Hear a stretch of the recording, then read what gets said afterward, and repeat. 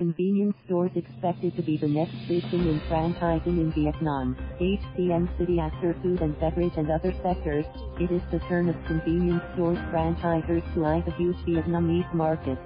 According to experts, Vietnam has all the requisite elements for the retail and franchising industry to boom such as a large consumer base, rapidly rising incomes and a generation of young and educated professionals.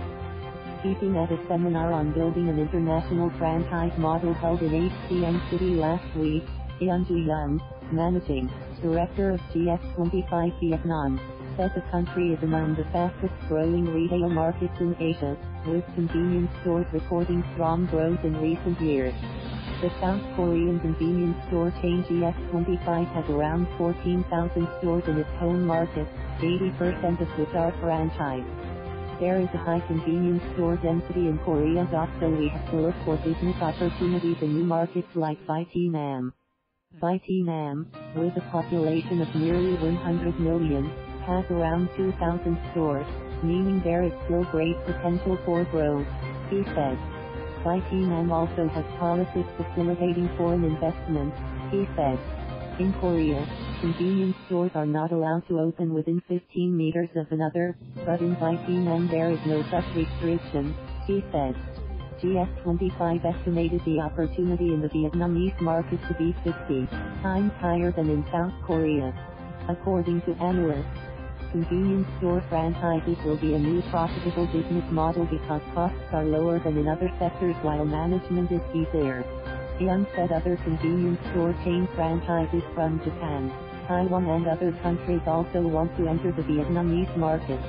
In addition to foreign franchisers, Vietnamese retailers have also stepped up their franchising efforts. Saigon Co.op for instance is franchising its Co.op food convenience store in HCM City and other cities and provinces and targets opening 100 new stores this year. Nguyen Phi Van, founder and chairwoman of Retail and Franchise Asia, says Vietnam is rated highly by the International Franchise Association as a franchise market. For the next three years it would continue to attract international brands, especially from its region, she said. However, many franchises did not succeed and pulled out of the Vietnamese market since they ran their business following the traditional model without applying digital technology, she said.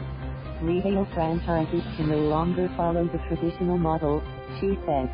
In advanced countries, they apply artificial intelligence and virtual reality in franchising and are very successful, and businesses in Vietnam cannot ignore this trend, she said. Experts said franchisees need to change their mindset because some local businesses still consider franchises as a way to make money quickly by using other people's brands. This is a completely wrong approach and risks creating a crisis for the franchise system, they warned. Thank you for watching.